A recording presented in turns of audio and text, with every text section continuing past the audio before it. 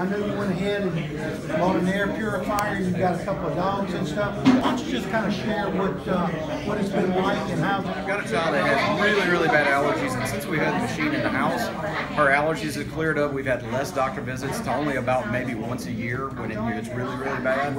And so that's been a blessing because that was like every couple months we have to go because of her allergy and issues and things like that.